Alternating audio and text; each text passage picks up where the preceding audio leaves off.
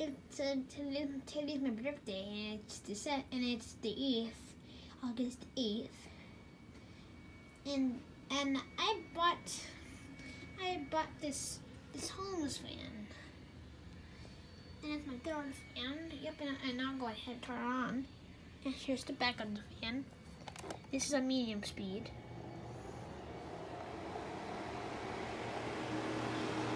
The medium speed.